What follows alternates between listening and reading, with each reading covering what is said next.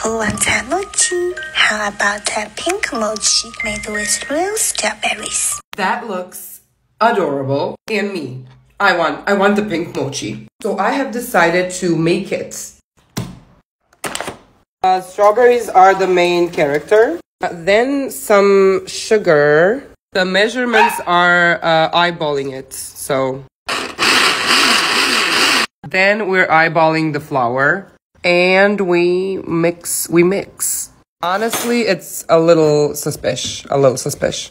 What are your thoughts on this?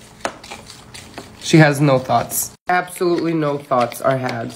This is the consistency we're going for. Uh, she said holes, so we said holes. Then some butter.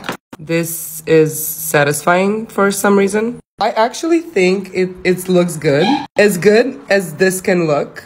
Hmm, it, it looks it looks really good.